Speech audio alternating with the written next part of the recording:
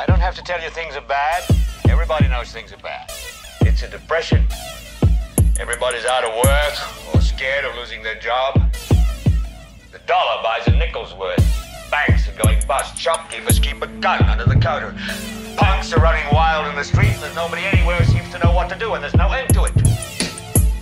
We know the air is unfit to breathe. Our food is unfit to eat. We sit watching our TVs while some local newscaster tells us today we had 15 homicides and 63 violent crimes, as if that's the way it's supposed to be. We know things are bad, worse than bad. They're crazy. It's like everything everywhere is going crazy, so we don't go out anymore. We sit in the house, and slowly the world we're living in is getting smaller, and all we say is, please, at least leave us alone in our living rooms. Let me have my toaster and my TV and my steel belted radios, and I won't say anything. Just leave us alone. Well, I'm not going to leave you alone.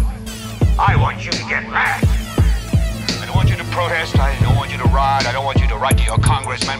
Know what to tell you to write. I don't know what to do about the depression and the inflation and the Russians and the crime in the street. All I know is that first, you've got to get mad.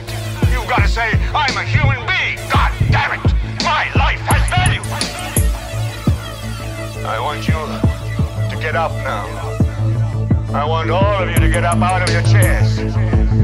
I want you to get up right now and